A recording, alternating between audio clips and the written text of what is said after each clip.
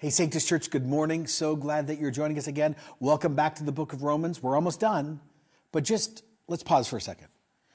Why did the Holy Spirit ask us in this ministry year in this season to go through Romans. Remember, the invitation was for us to rebuild a Christian worldview.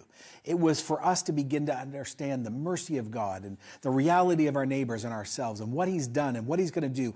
But it's also begin to show us to begin to show us how to live differently. And, and last week was sort of this huge turning point. Chapter 12. How do I really worship God now I know Him? And how do I begin to, and how do I define what it means to love a fellow Christian? And even how do I begin to respond to people who hate my faith or people who are destructive in my life? Well, that was a lot to take in last week. But this week, oh my goodness, this week is so much more. Now, Paul says, I want to tell you as a Christian how you interact with the government and also with unsaved neighbors and how you actually are light in a dark world. Now, we had this conversation midway through COVID, and we're going to have it again today. So here's what I'm going to ask. I already felt it in the room. I'm in the room. Lots of you just did this in your hearts, or you literally did this. Can, can you just, can everyone stop, no matter what site you're at, no matter where you're listening in the world, could you just say right now, if you're a Christian, Lord Jesus, I'm open to your word? Okay. Before we get into this passage, I need to do a little history lesson because only when we understand the history of this passage, then does this passage become not just powerful, it actually becomes more radical and even the call more sacrificial. There was an emperor named Claudius. He had expelled all the Jews from Rome because there was actually a huge debate among the Jews about Jesus. You can find that in the book of Acts. After a period of time, all the Jewish community was allowed to come back into Rome, but things were tense. Well, Claudius died. And then after Emperor Claudius dies, Paul begins writing what we're reading today called the letter to of Romans uh, to the Roman church. Now, this is being written under a new emperor. This is being written and distributed and talked about and prayed through during the middle reign of a guy named Nero. Nero's reign slowly devolves into insanity. And in a few years from this moment, multiple Christians will be killed in the most brutal and horrific ways which we're going to talk about uh, halfway through this message. So it is an unbelievable, difficult moment for this local church. In Rome, at this moment, there's anti Semitism that is growing. And remember, the Christian community and the Jewish community are intersected at this point because most Jews, uh, Christians, are Jews at this moment. But at the same time, now there's this growing anti Christian sentiment. So you've got this really bad environment. Paul also understands he needs to address how Christians interact with the government because there was a group of people from Jerusalem called Zealots who basically believed in using violence to throw at the Romans. And part of that thinking was now beginning to take root in the Jewish community in Rome, and many Christians were still connected there. And then there's another wrong, wrong attitude that Paul also needed to address. Some people started thinking, well, I'm a Christian and Jesus is coming back and we know he's going to make everything right. So I'm not going to get involved in politics or civic affairs at all. It's a waste of time. It's even sinful. So let's just, let's just let it all burn and God's going to deal with it in the end. And Paul's going to say, actually, that's not allowed either. He's about to charge every single Christian, whether Jewish in background or non Jewish, to something called horizontal grace.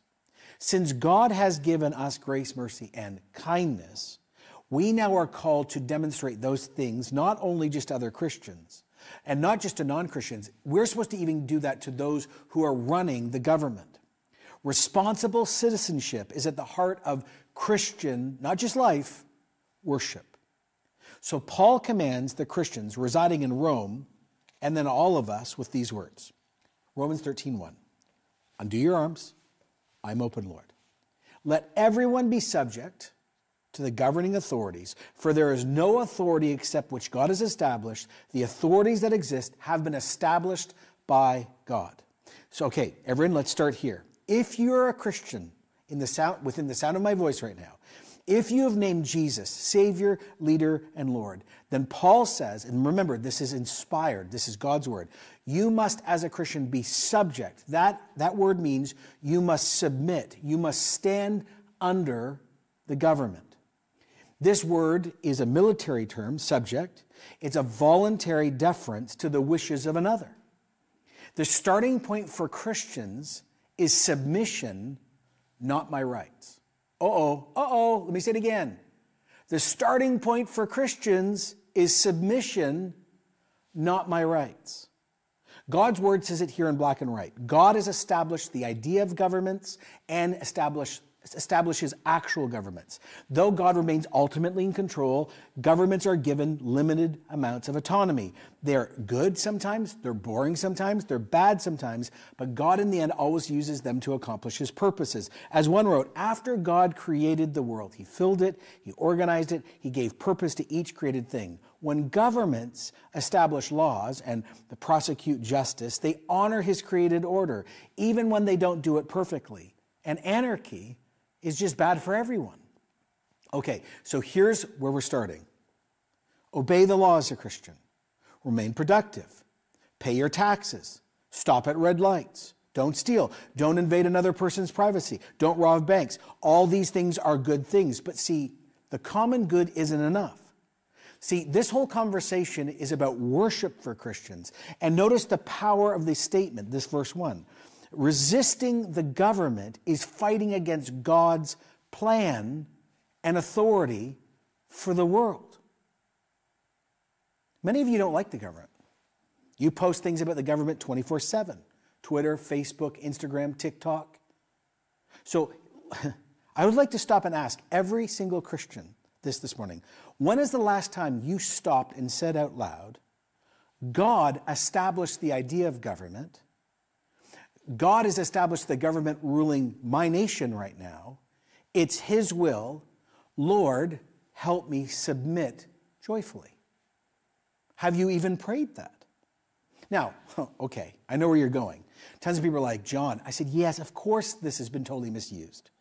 This is not teaching blind devotion to the government either. Many churches under the time of Hitler used this very passage to say, well, you can't stand up against Hitler, or you should never resist the Nazis, or actually, we should join them. We're going to get into the question in a minute, like we saw actually even in the life of Esther. When is it okay not to obey the government as a Christian? And we're going to walk that through in detail. But see, here's the problem. So many of you right now, as I'm speaking, are already there. When do I get to say no? Whoa, whoa, whoa, stop, stop, stop. Stop jumping there so quickly. Just let it sink in right now. Your worship is connected to your thoughts, your actions towards those who have authority over you and over us. This is as important as singing on a Sunday morning or giving, giving on a Sunday morning or sitting under a sermon. So let me just do this again. When is the last time you said, Lord, help me to joyfully submit to the government as worship to you? I'm just going to take a moment. When's the last time? Probably never. Verse 2 Consequently, whoever rebels against the authorities, rebelling against what God has instituted, and those who do so will bring judgment on themselves. There's two reasons why we should obey the government. One, it allows us to worship, to please God, to honor Him. It's connected to how we honor what He set up in the world. Second, it allows us to serve God freely. If we keep uh, disobeying the law, we'll get fines, or our reputations will be bad. Prison, it kills our testimony. And, and as a general rule, a general rule, the more you obey, the more free you are. This is a pretty profound thing. There was a guy named Richard Halverson. He was the former chaplain to the U.S. Senate. This is what he wrote about government. To be sure, people will abuse and misuse the institution of the state. People, because of sin, have abused and misused every other institution in history, including the church. But that does not mean the institution is evil or bad or should be thrown out. It simply means that people are sinners and rebels in God's world, and this is the way they behave with good things. As a matter of fact, it is because of this very sin that there must be human government to maintain order in history until, of course, the final, ultimate rule that Jesus will establish. Human government is better than anarchy. One. Oh, and here's, here's the line that's going to really mess with a lot of you. And the Christian must recognize the divine right of the state. Hello. What that means is the idea of government is God's idea. He says in verse 3 Rulers hold no terror for those who do right, but for those who do wrong. Do you want to be free from fear of the one in authority? Then do what is right and you will be commended. As a general rule, of course there's exceptions. As a general rule, just obey and things will go better for you. If you break the law, you'll always be looking over your back. But if you do obey, there'll be much less fear. And of course, you're a Christian, so of course. Then he says, For the one in authority is God's servant for your good. If you do wrong, be afraid, for rulers do not bear the sword for no reason. They're God's servants agents of wrath to bring punishment on wrongdoers. Now, the sword 2,000 years ago was a symbol for Roman judicial power. And basically, God has given authority of law and the consequence of law to governments. Now, here's the really mind blowing thing. I hope you're still listening. It says that politicians, government officials, are God's servants. Why is that so? Well, I'll tell you why. In the Old Testament, the Greek version of the Old Testament, this is the same phrase used for priests worshiping in the temple. And in the New Testament, this is the same phrase used for deacons serving in a church. So when is the last time you said that Doug Ford or Jagmeet Singh or Justin Trudeau, if you're American, uh, Biden or whoever or wherever you live, is actually God's very servant? Whoa. Therefore, because of what I just said, Paul says, verse 5, it is necessary to submit, live under, to the authorities, not only because of possible punishment, but also as a matter of conscience.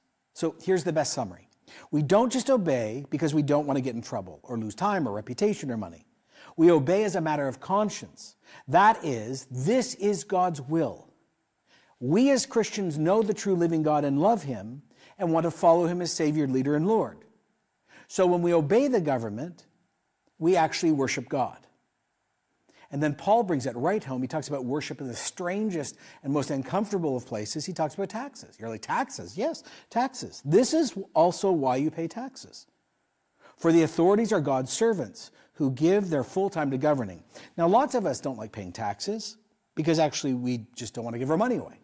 But also, we don't like the government or how they'll use our taxes. You can fill in the blank for yourself. Uh, the Jewish community and the Jewish Christian community 2,000 years ago struggled with this because Rome was an outright pagan, dangerous group.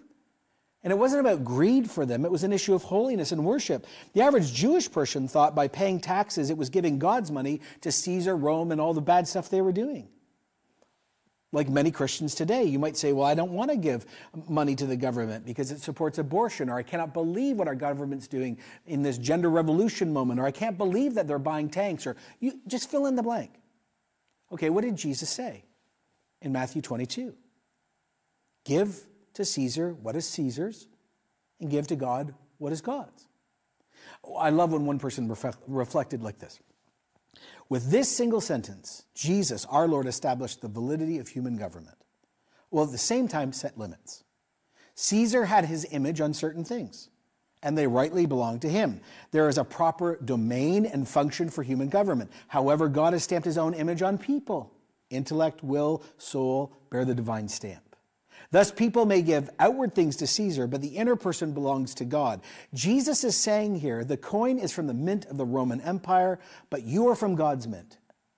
The coin you use determines, it is determined by its likeness, and your use is determined by the likeness you bear. Basically, he writes, Jesus' single sentence is certainly one of the most important political statements ever made. So simply, Jesus and Paul teaches us give your taxes. It's for the common good.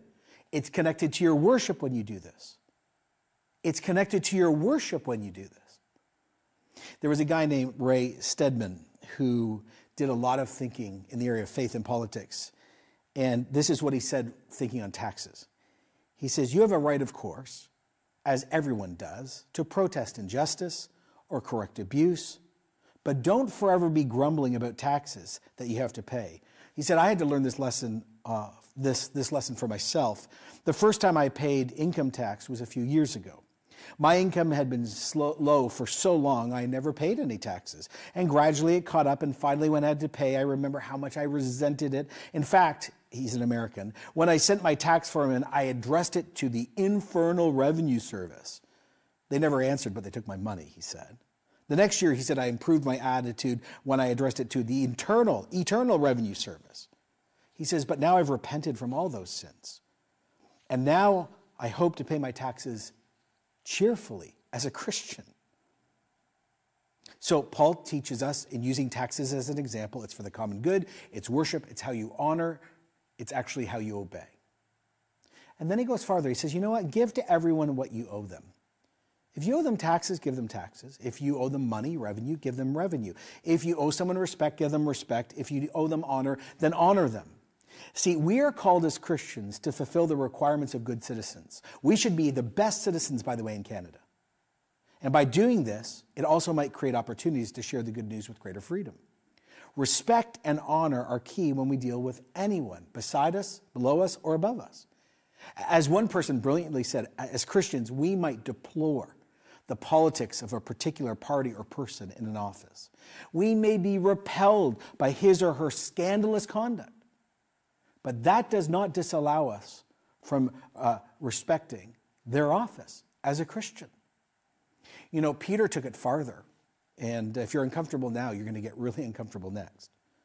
Peter wrote this. Remember, Peter used to be involved in like rebelling against the Romans, pretty tough, cut people's ears off, like 1 Peter 2:13. Submit yourselves for the Lord's sake as worship to Jesus to every human authority, whether to the emperor as supreme authority or governors who are sent by him to punish those who are doing wrong and commend those who do right. Verse 17, show proper respect to everyone. Love the family of believers, the church, fear God, honor the emperor. Okay. Peter says, honor and submit to every authority, including the emperor. Who's the emperor at this moment? Oh, it's Nero. Okay, ready? In 64 AD, a very famous fire, some of you know this, broke out in Rome. It devastated the grand city. Tons of people died, so much was lost. And the population and the government blamed Nero. And there's a lot of facts to say maybe it was his fault. But no matter where that lands, here's what one historian said Nero was a man desperate to be popular. Therefore, he decided to look for scapegoats that he could blame the fire on. And he found it in Christians. And this is when this began. So he said, Oh, the Christians started the fire. So many Christians suddenly were arrested and they were thrown to literally like lions in the circus and eaten alive. They were tons were crucified. Many of them were literally, this is awful, burned alive at night, serving as lights in Nero's gardens while he held parties. The brutal persecution which immortalizes Nero's reign is why the Christians called him the first type of Antichrist in the Christian church. And Paul and Peter, writing at this point, actually say, Are you ready, everyone? Submit to Nero. Nero. If Christians are called to honor Nero, then you could totally honor our prime minister or our premier or, or police or, or teachers or pastor. Like, what? Uh, Paul moves us to look around at our relationship with neighbors and coworkers and family, and he says, Let no debt remain outstanding except for the debt to love one another, for whoever loves others has fulfilled the law. See, many people misuse this. Verse 8, oh, you see Paul's saying you can't borrow money, and banks are evil, and mortgages are evil, and you should never have a credit card. No, this is not what is being taught here. The idea here is do not let debt become an addiction. Don't default on a loan. Being part of a faithful Christian is actually being a good neighbor. I love when one person said, Be a person with honor as a Christian. Fulfill your obligations. Don't make creditors track you down. Seek them out. Be honest and forthright. Pursue the arrangement to pay off what you owe. If someone holds a particular position that's due respect, then give it freely, here's a, with enthusiasm. With enthusiasm. Not begrudgingly, not, oh, I'm a Christian, I have to honor. With enthusiasm. See, this is a call to love your neighbor. The only debt that we should have with anyone is love. See, that's why in this next moment, Paul actually turns back to the Ten Commandments, to the second half, actually. And we did a whole series on the Ten Commandments. I don't know, maybe 2009 or 10. You can watch that whole thing. But we've been learning through Romans 2. Why were the Ten Commandments given? Well, the law shows us the character of God, the law shows us what sin is, the law actually shows us how lost we are, and we need a Savior. But the law also shows us a vision of how humanity is supposed to work. This is how the whole created order is supposed to work. It's all about love. That's why he intentionally uses the seventh, sixth, eighth, and tenth commandment. He says the commandments you shall not commit adultery. You shall not murder. You shall not steal. You shall not covet. Whatever other commands there may be, they're summed up in this one command love your neighbor as yourself. Love does not harm a neighbor. Therefore, love is the fulfillment of the law. Paul is saying, listen, if you really love God as a Christian, uh, then you'll have to love neighbors. And if you really love God and you love your neighbor, then you would never or encourage or get involved with committing adultery because that destroys your neighbor. And you'd never actually get involved in murder because that destroys your neighbor. Or you would not hold hate in your heart and bitterness long term because that destroys your neighbor. And you would never steal someone's reputation in a conversation when they're not in the room because that would destroy your neighbor. Or you would never steal someone's reputation online right? Because that or you wouldn't steal a car or you would because that would destroy your neighbor. You would not live a life that's motivated by what you don't own physically emotionally sexually spiritually financially and covet. I mean, this is how we are called to live in a cold, uncaring, me centric world and be tru- tru- truly different. Okay, Paul brings everything home this way with the idea of when we're living. He says, Look, we're living in the last days, the days are really short, and Jesus is going to return. So, do this understanding the present time. Okay, there are two words for time in Greek. One is chronos. We get our English words like chronology or calendar from it. It's linear. And the other one is uh, kurios. Kairos, sorry, it's kairos, which means a fixed or appointed season. It's a God's special moment time. It's a quality of time. And he basically says we're living in this unique end time moment. He says, so, okay, understand the time. Because if you don't understand the time, you won't live right. The hour has already come for you to wake up from your slumber because our salvation is nearer than ever. It's nearer than we first believed. The night is nearly over, the day is almost here, so let us put aside deeds of darkness and put on the armor of light. Jesus is now closer to coming back when everything's going to be made right. So actually begin to live like he's really going to come back and make things right. And remember, most things that we care about or love or fight about won't have any weight when he returns. So our Christian ethic and our love and our obedience to Jesus is grounded and motivated because we know time is short and things are going to change and he's really coming back. He says, look, it's not just about the government stuff or debts. He says, let us behave decently, verse 13, as in daytime, not carousing and drunkenness, not in sexual morality, debauchery, not in dissension and jealousy. Now, we talked a lot about this last week, but he says, listen, we shouldn't be involved in carousing and drunkenness. This comes uh, at least in the, this context, from the idea of wild nighttime festivals and honoring this god called Bacchus, who is the Greek god of wine. And basically, people get drunk out of their minds and then do all this sexual stuff. It's like, no, the party scene, not our scene anymore.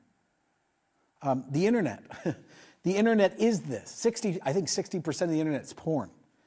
Uh, it's brought it into our homes. And he's just like, look, whether you do stuff in secret or in public, something that's shameful according to God that's normal and experienced and expected in our culture, we, we just aren't marked by that anymore. And oh, yeah, we're not marked by sexual morality. Sex is defined by God's word, not by us, culture, feeling, history. No. And also dissension and jealousy, infighting with passion. No, no. He says, clothe yourself. Rather, clothe yourself, clothe yourself with the Lord Jesus Christ, and do not think about how to gratify the desires of your flesh. Rather is not a neutral word. It's actually, it's a word in Greek reserved for like a sharp contrast. So we must, with an absolute unequivocal view and way, obey Jesus and not darkness. It takes forethought and planning. He says, place the Lord Jesus Christ on you. Clothe yourself with him. Bow to his ideas, his commands, his lordship. He's the King of kings, he's the Lord of lords, and he's good. Okay, let's keep going. What do we do with this passage? well, number one, if you're a Christian, you need to respect and obey the government as worship towards God. Now, don't forget, Paul never even shares what form of government is best. He's not thinking about democracy here. His point is your thoughts, your online posts, your attitude, your conversations, do they reflect worship? And are you submissive at all to those who lead you? Uh, let's also not forget what this passage is not saying. uh, Paul, Peter, Old Testament, Mordecai, Esther, Jesus. None of them are naive about government abuse or power. Uh, uh, the guy who's writing this has actually been abused multiple times by the government he's telling us to submit to. And Paul even is talking, talks in other passages about he knows behind institutional power there are literal spiritual principalities, powers, rulers, and authorities that are hostile to God himself. So again, can we ever disagree? Can we choose not to obey? Yes. This is one passage among many. There are, keyword, rare occasions when we have no choice but to obey God over the government. You're like, well, when are those? Well, here they are. First of all, when a government tells us to violate a direct command of God revealed in the Bible, we say no. In Acts 4 5, for example, the church was told they weren't allowed to use Jesus' name anymore or preach. Peter and John say, I think it was Peter and John say, we must obey God rather than people. The command of God takes precedent. So if anyone says, "Oh, you you can't, you know, you can't preach Jesus as the Son of God, or Jesus is the only way to heaven, or you can't talk about heaven or hell," or if we're told we can't call people to repentance, or if we if we are told that we cannot call people to self-denial, or if we are told we cannot speak about life or sexuality or gender from a biblical informed worldview, we just will not obey. We will obey God, not people. So that's a time when we can say, "No." God over you. Number two, you can disobey if you are told to commit a sinful act defined in the Bible. So if someone asks you to lie, no. If someone asks you to kill, no. If you're asked to affirm things God has clearly said no to, then we also say no. So if you're a Christian doctor or nurse here today, and you're told you have to perform an abortion or get involved in euthanasia, you say no as a general principle. I know there are some exceptions, but as a no, I, I'm not doing that. You might lose your job or be demoted, but you obey God's word rather than others. If your boss at work tells you, you know, change some notes or change a file or lie or, or you know what, I don't really like this person anymore, let's set them up. No, in Jesus' name. You have every right to say, I'm not doing that because actually I'm a follower of Jesus. Now, it's this third one that's really, really difficult, important, but has been misused, especially during the COVID pandemic in the last three years. If something goes against a Christian's conscience, informed by Scripture and the Spirit of God. So, there is not agreement between Christians on all matters. Are you shocked? I'm not. So, here's an example many Christians could never work on nuclear weapons. Others say, I could never be in the entertainment community. Other people are like, What are you talking about? The only way that you are salt and light is when there's darkness and rottenness. So the only way to be a witness is not to hide from the world, you've got to be part of the world. War and pacifism is a great example of this. Many, many Christians say, no, there is a time when we have to take up arms, defend the weak, or actually take out a wicked government because actually they're so dangerous. Dietrich Bonhoeffer, who was uh, leading the church uh, during the Nazi regime, who was jailed and uh, incredible story. He, in the end, joined the plot to kill Hitler. Other Christians say, no, no, you don't understand. It is never right to pick up arms. We need to be pacifists. That's what Jesus taught us. Both of them actually root their views genuinely in Scripture. Now, here's some ground rules I just want to give you. And by the way, if you're starting to yell at me in your heart, shh, don't. Just listen. Number one, You've got to base it in God's Word. You've got to find it in here. Not on your Twitter feed, not on a vlog, not on some website, here. And actually find it. Not one verse. Number two, think. Take time to think, not react. Not just two posts and I read a website. No, no. Think. Number three, check it out with other Christians who agree and disagree with you. Now, if you come to a position where you actually are like, okay, I, as a Christian, I feel the Spirit of God has told me this. I find it in Scripture, but I do not have unity with other Christians. Then here's the ground rule you can't make it a rule for everyone else. If it's clear in Scripture, do not do this thing, then we all agree. If it is not clear in the Scriptures and it becomes a matter of conscience, which, by the way, Romans 14 and 15 are all about, then you need to say, well, you know what? I'm choosing not to do this, but I will never disrespect, attack, or say you're sinning by doing the thing I disagree with as a Christian. And here's the real strong reality some of you are going to have to admit. If you read Romans 14 and 15, you're actually the weaker brother and sister in this conversation, not the people actually you're angry at. So, yeah, you can say no and say, I'm choosing not to do this thing. But when you make it universal, and when you say all other Christians must, you yourself have started sinning in a different direction. Okay, so where does this leave us? Okay? This is where this, this is where this goes. Number one, if you're a Christian, God commands you to honor your leaders. It's not a choice. 1 Peter 2:17. Show proper respect to everyone, love the family of believers, fear God, honor the emperor. Honor leaders. Do you do this? Do you, do you do this? There's so much rancor, so much hatred, so, there is so much that is posted by people in this church that a year and a half later, actually they change their mind on or they never address. They've never come back online and said, Lord, and, to, and online, I'm sorry, I didn't honor people. So just, number one, honor leaders. Number two, respect every person you meet. All people, people from different religions, different political stances, different views, different moralities, different sexualities. Treat everyone you know with dignity. Treat them the way you would want to be treated.